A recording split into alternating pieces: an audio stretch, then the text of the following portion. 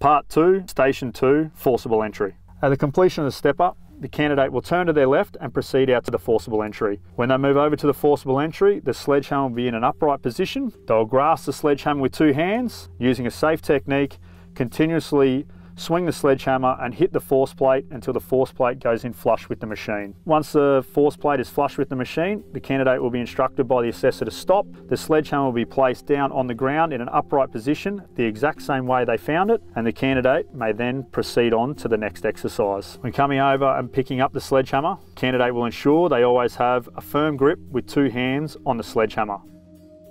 When coming to this station, this station becomes more about the safety of the assessors and the crew members involved.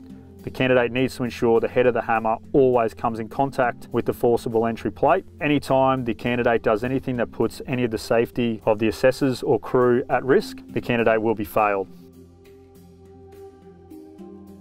At completion of this station, once the candidate has been told by the assessor that they are successful, the sledgehammer is to be placed in an upright position on the head, the exact same way the candidate found it. If the candidate swings over the top at any stage and misses the force plate and the machine altogether, this puts the safety of everyone around them at risk and the candidate will be failed. If the candidate swings the hammer and comes in contact with the force plate, and after coming in contact with the force plate, comes in contact with the forcible entry rig, the candidate has put the safety of those around them at risk and the candidate will be failed.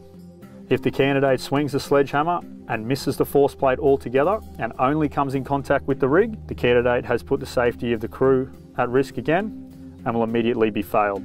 If the candidate is full of adrenaline at the end of it and throws the hammer on the ground, they will be penalised with time only for care of equipment. The candidate will be forced to come back, stand the sledgehammer up on its edge before they're able to proceed onto the next station.